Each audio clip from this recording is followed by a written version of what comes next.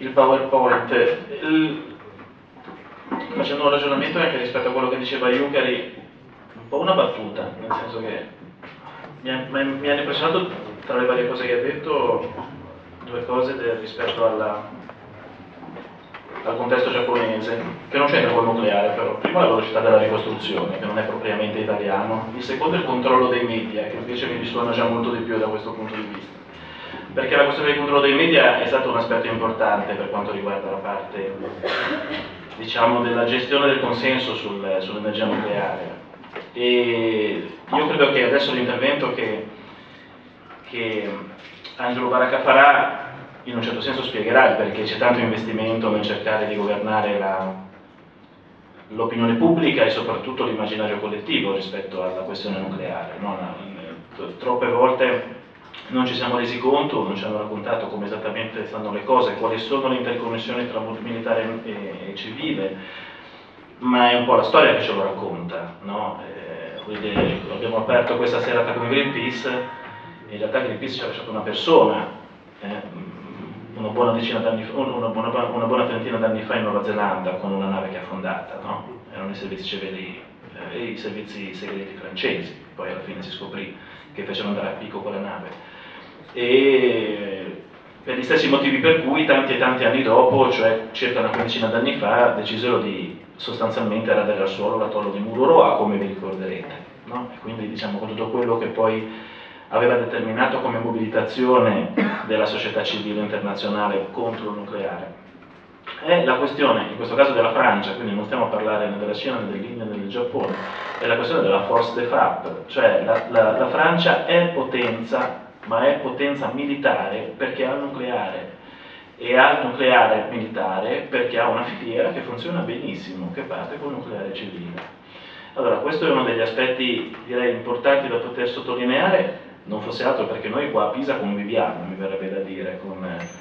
una tradizione di questo tipo, avendo, avendo, avendo Camp Darby proprio qui vicino, mm, e che nessuno di noi sa esattamente che cosa c'è all'interno di quei silos sottoterra. Questo forse è un altro elemento che per Pisa potrebbe essere sostanziale da poter ragionare e forse dire, dà ancora più significato a una serata come questa che parla del nucleare e che cerca di interconnetterlo con il,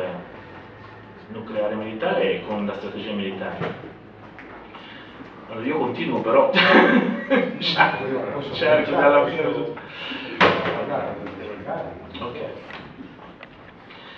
Un aspetto a questo punto aggiungo, che avrei aggiunto volentieri prima dell'intervento di, di, Maurizio, ma che anticipo, perché questo è l'altro grande aspetto della disinformazione legata al nucleare. E, ehm, nei tanti contesti internazionali e nei tanti consessi internazionali dove si parla di lotta al cambiamento climatico o di nuovo modello di sviluppo se voi volete, quindi io parlo di tutto l'ambito Nazioni Unite, pensate alle conferenze delle parti sul cambiamento climatico, troppe volte da parte di diversi paesi l'energia nucleare è stata identificata come energia pulita o come energia alternativa. La logica è che l'energia nucleare non produce CO2, al di là del fatto che produce scorie, c'è un'ulteriore un controinformazione, se voi volete un'ulteriore manipolazione su questo, che è la questione per cui non produce CO2 nel momento in cui è in attività. Il problema è che c'è tutta una fase prima e c'è tutta una fase dopo, che invece la CO2 la produce. E se noi dovessimo fare una sorta di di assessment della vita, di life cycle assessment della vita diciamo, di una centrale nucleare, da quando viene raccolto l'uranio, da quanto raccolto, da quanto viene estratto l'uranio, quando viene processato, quando viene utilizzato e da quando vengono spostate le scorie, quando viene costruita la centrale, noi ci renderemo conto invece di quanta CO2 emette e quanto poco combatta il cambiamento climatico una tecnologia come questa. Io a questo punto siamo arrivati, lascerei la parola ad Angelo Beracca ripresentandovelo come docente di fisica dell'Università di Firenze, ma eh, anche uno dei coautori, poi forse ce ne parlerà meglio Angelo, dell'annuario su armi e disarmo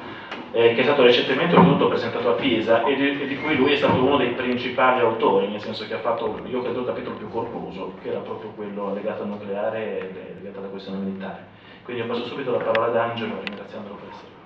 qui. Io vi ringrazio di avermi invitato e anche di avermi dato questo tema perché dopo eh, la, la,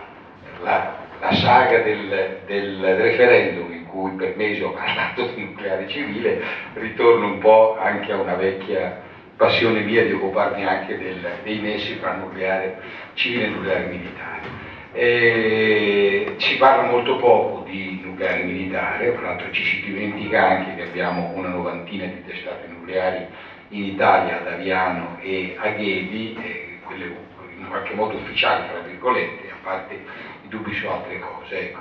E, e, ci si dimentica anche del rischio che le bombe nucleari che ci sono, salvo parlarne in qualche momento, come due anni fa circa, quando ci fu l'accordo, un nuovo accordo fra eh, la Russia e gli Stati Uniti, ne, ne parlerò successivamente. Eh, io voglio, mm, partendo da una, dire, una, una, brevissima considerazione storica, voglio arrivare un po' all'attualità per farvi un po' il quadro della situazione, perché vorrei in qualche modo convincervi non di una cosa bella, ma è che è, è opportuno preoccuparsi anche del nucleare eh, militare. Ma adesso appunto cerco di andare po' veloce perché altrimenti... Allora, il nucleare è, è nato e si è sviluppato come tecnologia militare, cioè non, ha, non, aveva nulla a che fare con programmi civili inizialmente. Nel 1942 e, e, e Fermi costruì la prima eh, pila, l'ho messa fra virgolette perché in realtà non produceva energia ma era fatta per produrre plutonio e nel decennio successivo più o meno eh, si sono costruiti molti altri reattori, tutti militari, con due scopi. Primi erano per produrre il plutonio e, e, e sono stati la base della realizzazione di grandi arsenali nucleari durante la guerra fredda. Fu eh, la, i, i, programmi di propulsione navale, i sommergibili nucleari e nei sommergibili nucleari si eh, sperimentarono i modelli di reattori che poi sono diventati i modelli fondamentali di reattori eh, civili, quindi anche le filiere di reattori civili, reattori PVR, DVR, della Westinghouse, della General Electric sono, e anche quelli russi, sono nati tutti da prototipi eh, di, di, da, da, filiere di reattori militari, quindi hanno anche tutti i limiti. Eh, durante la guerra fredda eh, vennero realizzati, poi lo farò vedere, enormi arsenali nucleari, folli arsenali nucleari e bisogna ricordare anche che sono stati fatti da tutta l'era nucleare, nei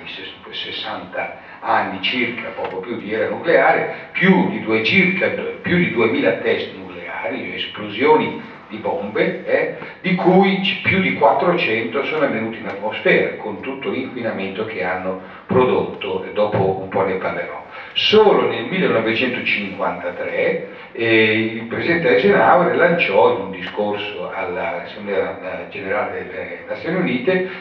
degli atomi per la pace e dopo il 1955 sono partiti i programmi nucleari civili nel mondo, quindi vedete che eh, eh, l'origine è abbastanza chiara, no? Perché non scorre? Eh, quindi pigio questo a sinistra. Eh, questo qui una, de, de, de, descrive l'andamento degli arsenali nucleari dal 1945 eh, fino al 2005, dopo vi parlerò della, della, della, vedete che in, l'è in blu, ci sono le, le, le arsenali nucleari, eh, spero vediate i numeri a, a sinistra, in blu l'arsenale nucleare eh, americano, in rosso quello sovietico e poi russo dopo il 91 e in grigio in basso c'è la somma di tutti gli altri arsenali nucleari, di tutti gli altri paesi che si sono dotati di, di, armamenti nucleari, che non danno una somma trascurabile, perché se vedete quella, quel grigio nel 2005 si aggira sulle mille testate nucleari, che non sono proprio uno scherzo, ecco. quindi quando eh, dopo discuterò brevemente l'accordo che è stato fatto fra eh, Stati Uniti e, e Russia, eh, ci sono mi, altre mille eh, testate nucleari circa, un poco meno nel mondo,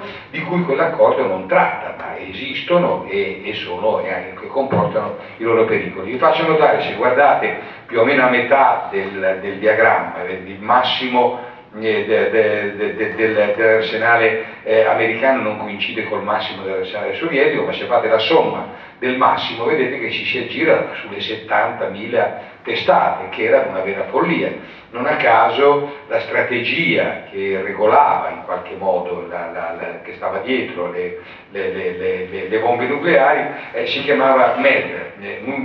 Mutual Assured Destruction, distruzione mutua assicura, eh, assicurata, ma l'acronimo MED eh, sul dizionario inglese vuol dire pazzo, quindi è, è, è proprio la strategia stessa eh, eh, rifletteva questa, questa, follia che stava dietro. chi ha guidato eh, il, il, gioco, lo sviluppo, ecco, de, de, noi pensiamo al nucleare civile, pensate che in questi 60 anni sono stati costruiti circa 600, un po' meno, 550, 600 grosso modo, reattori di potenza, più un numero simile di reattori di ricerca, che sono per reattori molto piccoli, a fronte di un numero molto maggiore di reattori nucleari, militari. Eh? I reattori nucleari militari sono, sono, di più, ci sono sommergibili che funzionano con tre reattori nucleari, poi i sommergibili sono, sono, sono,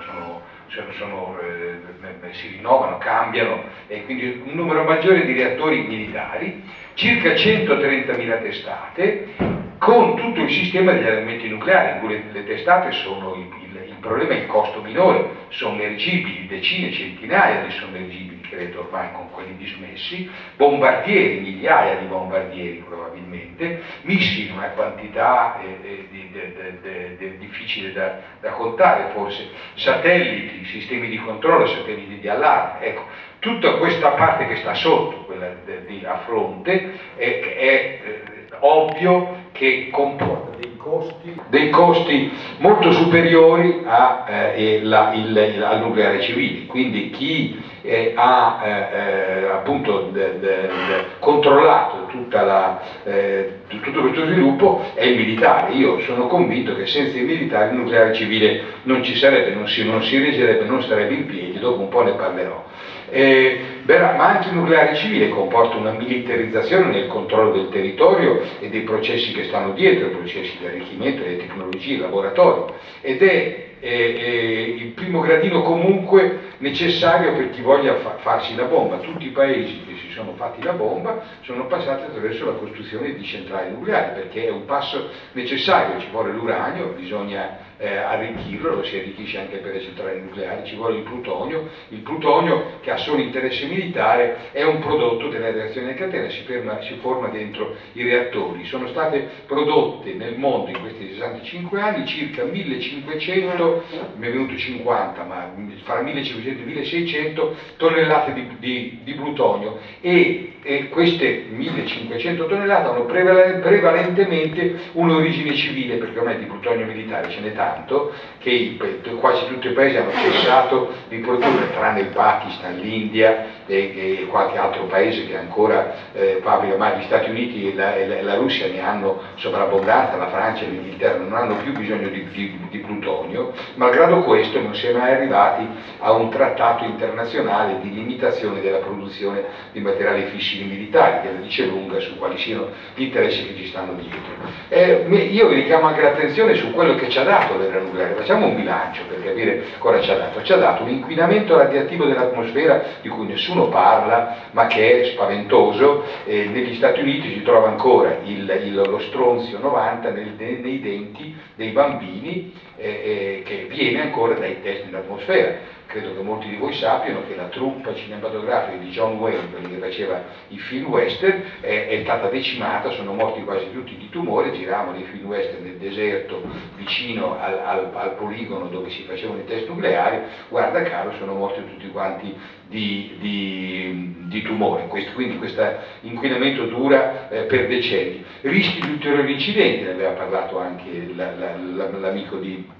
di Greenpeace, faccio una piccola parentesi, gliel'ho detto prima, quindi non è né una critica ma è una postilla a quello che lui diceva, lui diceva in 32 anni dal 79 oggi sono venuti tre incidenti, io lo correggevo, sono venuti 8 incidenti perché a Fukushima sono stati 5 e non uno, tre ai reattori che erano accesi e per fortuna gli altri tre erano spenti, se no sarebbero stati sei incidenti probabilmente, e due alle piscine del combustibile irraggiato, non era mai avvenuto nella storia, quindi se in 32 anni gli incidenti sono stati 7 e non 3, fate subito il conto che la frequenza, stando a rigore, come vengono impostati i calcoli, sono assurdi come vengono impostati, però a rigore vuole dire che ogni 3 o 4 anni ci aspettiamo un incidente e siccome abbiamo 58 reattori eh, vicini ai nostri confini in Francia eh, stiamo con le orecchie dritte perché il prossimo incidente potrebbe avvenire in Francia. Quindi da danni alla salute da tutto questo e il picco dei danni alla salute deve ancora venire probabilmente perché sia da Chernobyl che da Fukushima soprattutto i danni alla salute si vedranno in futuro. Eh, abbiamo un'eredità di circa 2000 reattori nucleari da smantellare, ho fatto il calcolo sui circa 500-600 eh, eh, civili, quelli militari, qualcuno di voi forse ha visto qualche servizio negli anni passati sullo stato in cui si trovano i sommergibili sovietici nel mare di Barents in uno stato spaventoso, ferri vecchi arrugginiti, ma hanno i reattori nucleari ancora dentro, quindi questo non dice lunga qual è l'eredità che lascia il, il nucleare, ma anche quelli civili appunto, ci sono circa 130 reattori spenti ma la, la, la, lo smantellamento deve ancora essere fatto, quindi è una eh, opera gigantesca con costi colossali, eh, eh, ulteriori scorie radioattive che verranno prodotte, che devono essere controllate, eh, migliaia di tonnellate di residui radioattivi ineliminabili, perché durano per migliaia di anni, con tutti i rischi che comporta, e non esiste una soluzione per i residui, si, chiama, si parla di scorie, ma per i residui c'è anche il plutonio, che non è affatto una scoria, perché è un materiale di interesse militare, quindi centinaia di tonnellate di, di di materiali fissili, munizioni uranio depleto, tutto quello che hanno portato, ormai eh, mi pare che siano sui 250 i militari italiani morti di tumore che, che, operavano in Bosnia dove sono state utilizzate le armi uranio depleto. Anche di questo non si parla, ma è un'ecatombe, 250 eh, persone morte perché operavano. Sto andando un po' lento, ma qui vi faccio vedere a volo d'uccello qualche dato, come dice l'inquinamento, questo è il, il, il, il il, il cripto radioattivo, l'andamento negli anni viene da, da, dai test nucleari nell'atmosfera, dal 1960 al 1990, guardate come è aumentato. Questo è il trizio emesso dalle centrali nucleari canadesi, vedete al, al, al, il, il, il, picco vicino alle centrali, quindi non è vero che poi diminuisce con la distanza, quindi non è vero che le centrali nucleari non hanno emissioni radioattive, per carità, e le hanno e come, potrei farvi vedere degli altri dati, ma vado un po' volo d'uccello. Questo è quello che è accaduto con la nube di Chernobyl, uno tanti, delle tante simulazioni fatte, vedete che la nube è andata in tutto il mondo, eh, quindi eh, gli incidenti nucleari non rimangono limitati, le, le, le, gli amici di Greenpeace lo dicevano chiaramente. Questo ve lo faccio vedere perché è spaventoso, questo è la, la, la, diminuisce col tempo la radioattività del combustibile irraggiato, quello che era a decontaminarsi nelle piscine dei, dei, reattori di Fukushima che sono state danneggiate, ma tutto il combustibile irraggiato nel mondo, eh, perché non è, nessun paese ha realizzato un deposito definitivo, eh, gli Stati Uniti eh, avevano il progetto di Yucca Mountain, ci hanno speso circa 10.000 dollari, 9-10.000 dollari, adesso ormai è chiuso, non se ne fa nulla, perché si è visto che non dava le garanzie sufficienti, il, eh, tutto il combustibile irraggiato è ancora eh, nelle piscine del combustibile nei pressi del, del, degli edifici dei reattori, ma non protetto come è protetto il reattore dal, dal vessel d'acciaio. Gli Stati Uniti ne hanno circa 70.000 tonnellate in una 60-70 localizzazioni e dopo Fukushima c'è una notevole preoccupazione che possono accadere ancora degli incidenti alle, alle piscine del combustibile. Guardate,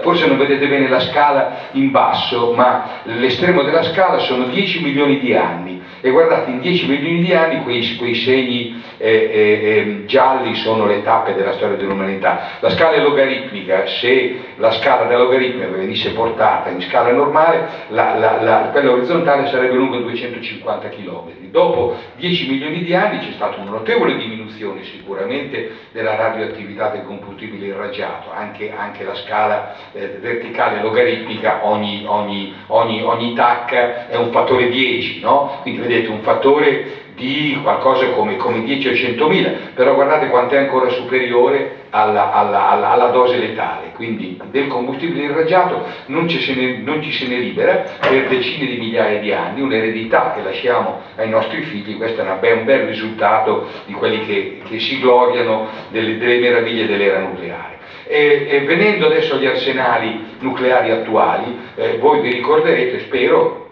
l'accordo, il nuovo START, START vuol dire eh, eh, eh, è un trattato sulle armi nucleari strategiche, strategic, strategic Arms Reduction Treaty, trattato sulla riduzione delle armi eh, nucleari strategiche, perché ci sono anche quelle tattiche che sono un, un, un numero notevole, eh, non sono controllate da nessun trattato e quindi non si sa neanche esattamente quante siano. Questo trattato ha stabilito circa due anni fa, nel 10 di 8-10 di aprile del 2010, eh, che eh, per il 2017, quindi di là da venire ancora, gli, gli arsenali eh, russo e, e americano eh, dovranno ridurre il numero di testate strategiche schierate operative, adesso dopo faccio una, vedrete che sotto c'è un, un, trucco, eh, a 1550, già questo numero fa un po' ridere, non hanno fatto neanche lo sforzo di arrivare a 1500, pare che 1050 siano de, decisive, no? Eh, non è così ovviamente, ma è che è tutto un tire molla per cui in realtà pensate che prima c'era un trattato che si chiamava SORT, che prevedeva fra 1700 e 2200 trattate per il 2012, quindi questo grande progresso per il 2017, è vero che la, gli Stati Uniti pare che siano già sotto questo, questo, limite e la Russia si sta avvicinando, il che vuol dire che potevano fare una, una, una, un accordo molto, molto minore un, de, de, de, di questo e quindi fa riflettere del perché invece abbiano man, mantenuto. Sotto ci sono dei trucchi perché ci sono dei falsi conteggi, un bombardiere viene contato come una testata, mentre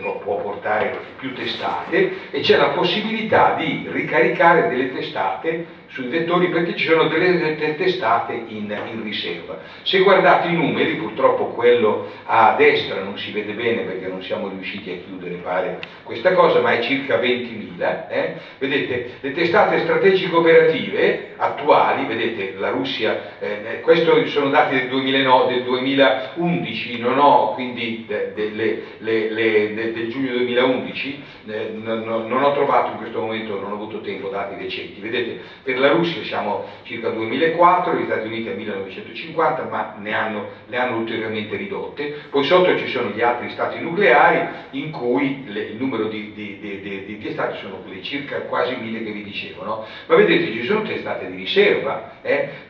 l'arsenale eh, militare effettivo vedete, cioè quelle che, sono messe in riserva, sono numeri molto grandi, per cui l'inventario totale per la Russia da 2.400 diventa 11.000, per gli Stati Uniti da, da circa 2.000 diventa 8.500 e invece delle, qua, de, meno delle 5.000 che dovrebbe essere, sono contate operative nel mondo, siamo a un numero 5 volte maggiore perché siamo attorno a 20.000, credo che adesso siamo attorno a 19.500, ci sono nel mondo ancora circa 20.000 testate nucleari intatte, dalle 70.000 che erano c'è stata una notevole riduzione, però eh, non è stato un disarmo nucleare, parlare di disarmo nucleare è una presa in giro, abbiamo ancora tutte queste eh, testate, perché appunto eh, oltre a quelle operative ci sono quelle non schierate, di, di, di, di risposta, di riserva, quelle, quelle eh, inattive ritirate intatte, quelle rimosse in attesa di essere smantellate, tutte testate che non sono eh, utilizzabili immediatamente, quelle schierate operative sono ancora pronte al lancio su allarme come ai tempi della guerra fredda, no? come se ci fosse bisogno di una risposta nucleare e questo è un grosso rischio eh, perché chi, eh, de, de, de, diciamo, c'erano specialisti di problemi del nucleare che ritenevano, io concordo molto, che la, la, prima misura da prendere sarebbe stata quella di deallertare le testate, cioè smontate, averle smontate, in maniera che invece di essere pronte a partire su allarme e la, i, i rischi di guerra eh, del nucleare per errore sono stati moltissimi ed, nel, nella storia del nucleare, quindi se si fossero smontate le testate ci volessero non minuti ma, ma, ma giorni o settimane o mesi per rimontarle, il rischio di una guerra nucleare verrebbe allontanato molto perché ci sarebbe tutto il tempo per, per negoziati, per eh, trattative. Quindi mi sembra evidente che militari e politici non vogliono rinunciare alle armi nucleari, questo tra l'altro alimenta le aspirazioni nucleari di altri stati, eh, perché finché ce l'hanno le potenze principali, altri stati se lo vogliono fare. La proliferazione nucleare è una realtà allarmante, oggigiorno costruire le armi eh, nucleari, vi dico, io non le ho mai costruite, sono un tecnico, ma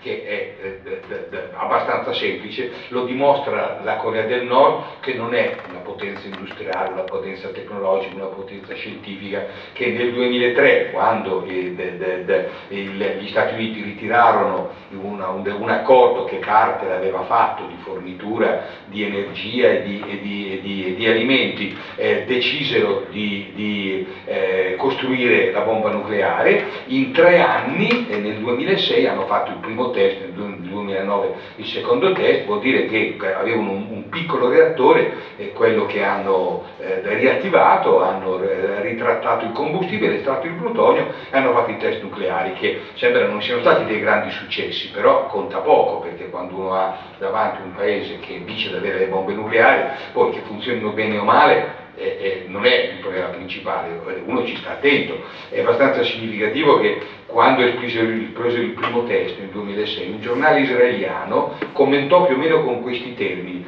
ora che la Corea del Nord ha l'arma nucleare non può più essere attaccata, quindi il problema non è che la Corea del Nord attacchi qualcuno, così come, come l'Iran, perché vi dico che è una foglia di fico, a parte che tutto questo, eh, io non voglio difendere l'Iran, soprattutto chi, chi, chi lo governa, nel, nelle scelte dell'Iran, però fare tutto il, tutto il problema del nucleare oggigiorno, focalizzarlo sull'Iran, che la bomba non ce l'ha, quando vicino c'è Israele che ne ha eh, 80, 100, 150, non si sa neppure, eh, il problema qual è? È l'Iran o è Israele? Eh, credo che la risposta venga naturale a tutti, basta, basta, basta dirle, dirle, le cose. Ecco. Ma eh, io vorrei fare anche questo commento, eh, se l'Iran si fa la bomba, il problema è che non può essere attaccata, non tanto che può attaccare, perché se l'Iran poi provasse, una volta che ha la bomba, attaccare Israele o chiunque, verrebbe cancellata dalla carta geografica, dalla reazione del, paese che ha. Eh, Israele a questo punto ha cinque sommergibili, non a propulsione nucleare, ma diesel molto moderni, che eh, tutti dicono e sanno, anche se non l'hanno mai ammesso, che, che sono stati muniti di eh, eh, missili a testata nucleare, questi sono indistruttibili, quindi eh, se Israele venisse anche il territorio distrutto, questi missili e questi eh, sommergibili eh, possono fare una reazione, eh, de, de, de, reagire con un attacco nucleare devastante su, su, su, qualunque paese. E, visto che parlavamo del Giappone, Yukari ha concluso con queste cose, il Giappone ha accumulato decine di tonnellate di plutonio qualche anno fa erano 40-45, ha degli impianti di, di, di ritrattamento, ha quello di, di di Tokai Mura e di Roccaso Mura, adesso pare che quello di Roccaso Mura sia stato messo in discussione, ma perché si costruisce degli impianti di ritrattamento visto che il plutonio ha solo un interesse militare, perché ritratta il combustibile, ha sicuramente le capacità tecniche e scientifiche di fabbricare la bomba immediatamente, si parla di eh, eh, eh, eh, proliferazione latente, lo stesso discorso vale per la Germania, sono paesi che da un giorno all'altro se decidono, non in anni come sta facendo l'Iran, possono costruirsi la bomba, il trattato di, di non proliferazione eh, è stato fatto in modo che le, le, grandi potenze si sono mantenute aperte la strada per recedere. Un giorno che lo ritengono come ha fatto la Corea, la Corea non ha violato il trattato di non proliferazione, è uscita eh, legittimamente con tre mesi di preavviso, lo può fare qualunque paese, poi ci ha messo tre anni a farsi la bomba, se il Giappone o la Germania preannunciassero in tre mesi di uscire dal trattato di non proliferazione, dopo tre mesi avrebbero le bombe belle pronte. Eh. L'altro la Germania ha anche collaborato a costruire le bombe eh, nucleari del Sudafrica, quindi vuol dire che le ha fatte, se sapeva fare le sa fare anche adesso, quindi de, de, capite che il problema della proliferazione è gravissimo. E il rischio di guerra nucleare purtroppo continua a essere molto eh, eh, eh, eh grave, il Bulletin of the Atomic Scientist che tiene da anni, questo, da decenni, questo Atomic Clock che misura, vedete la lancetta, quanti minuti mancano alla mezzanotte, che sarebbe il, la, la, la, il momento dell'olocausto nucleare, il 10 gennaio scorso ha portato avanti di un minuto verso la mezzanotte l'Atomic Clock, due anni fa l'aveva riportato indietro di un minuto, perché ha constatato che non c'è la eh, volontà di disarmo e che e, e, i, i, problemi sono. Dietro a questo ci sono anche altre cose molto gravi, perché io credo che la, eh, il pericolo di guerra e anche della guerra nucleare sia accentuato dal fatto del, del, dal, dal, dallo schieramento delle difese antimissili, che non sono uno scudo antimissile come quello che si voleva costruire in, negli Stati Uniti, volevano costruire in, in Repubblica Ceca e in, in Polonia qualche anno fa, ma è un sistema estremamente complesso e spaventoso di un sistema di, di difese di tutti i tipi, qui c'è un'altra rappresentazione, ora non entro nei dettagli, no? difese di teatro, tattiche, strategiche, in tutte le fasi di volo del missile, no? che fanno sì che il paese che se ne doti, eh, se, questi queste difese è, è, dubbio che siano effettive al 100%, che possano veramente intercettare tutti i missili di, di, di, di, un paese attaccante. Però chi è che ci prova se, se c'è questo rischio che attaccando un paese quello possa distruggere tutti i missili dell'attacco e possa reagire cancellando dalla carta geografica il paese che ha attaccato? Allora, con un sistema di questo tipo sicuramente sono necessarie molto meno testate nucleari al paese che se ne doti Ecco perché la Russia ha una grande paura